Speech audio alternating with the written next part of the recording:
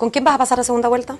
Con el que ustedes digan. Está bien, pero ¿qué es lo que te dicen tus intuiciones, tus evidente estudios, que tú? va a ser alguien del duopolio, eso no tengo duda. Que nuestra única chance es que nosotros le ganemos a uno las dos partes del duopolio. Eh, no, no creo que pasemos dos fuera del duopolio. Creo que ellos tienen estructuras de poder que son legítimas.